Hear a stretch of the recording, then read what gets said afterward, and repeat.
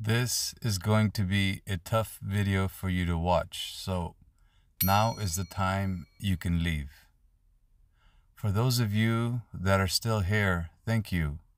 He's in this picture if you can find him.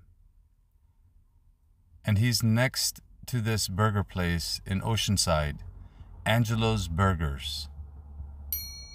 He's probably eating that burger right there, right now. And he's looking at me and he's asking me, Bro, none of these rich people are going to help me.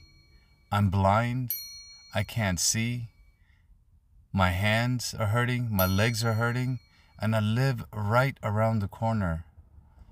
Can you take a picture, put it on YouTube, and see if somebody can help me? Thank you. And I did that for him.